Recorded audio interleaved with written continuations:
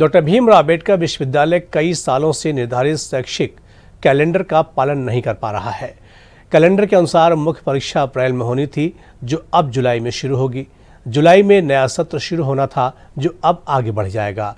अभी तक मई में हुई पुनर्परीक्षा का परिणाम अब तक जारी नहीं हो पाया है।